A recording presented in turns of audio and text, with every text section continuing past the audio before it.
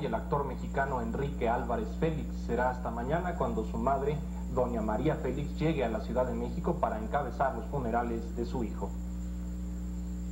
La madrugada de este viernes murió víctima de un infarto al miocardio el actor mexicano Enrique Álvarez Félix.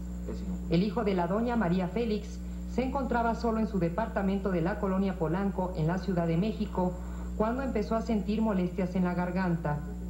Le llamó a su otorrinolaringólogo, se quejó de sofocación y el médico llamó a personal de los servicios de emergencia, quienes llegaron en el momento en que sobrevino el infarto. Le dieron masajes y electroshocks, pero todo fue inútil. El actor falleció a las dos horas de esta madrugada. Enrique Álvarez Félix fue hijo de María Félix y el empresario jalisciense Enrique Álvarez. Nació el 6 de abril de 1934. De los 8 a los 20 años estudió en Canadá, tiempo que vivió separado de sus padres. Empezó muy joven en el mundo de la actuación, dedicándose principalmente al teatro y la televisión.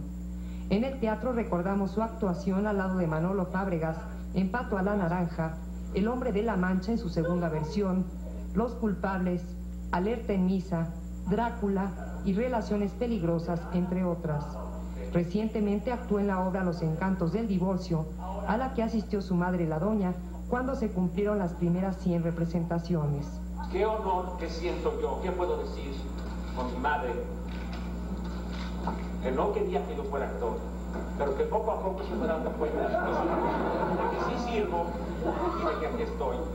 Y que me deber una placa para mí es siempre un motivo de amor, de honor y de gran emoción. Y la comparto con ustedes.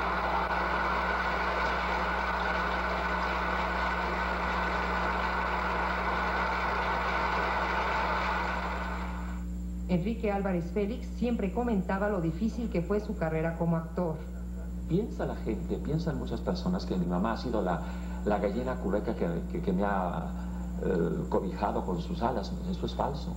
Yo no he tenido nada más que en el trabajo que ha, que ha logrado gustar y que después pues he, he, ido adelante, pero ha habido cosas que yo he querido hacer, pero no puedo. En el cine actuó en Los Caifanes, Los Cuervos están de luto, Los Ángeles de la Tarde, La Casa del Pelícano, La Primavera de los Escorpiones y en El Monasterio de los Buitres, entre otras.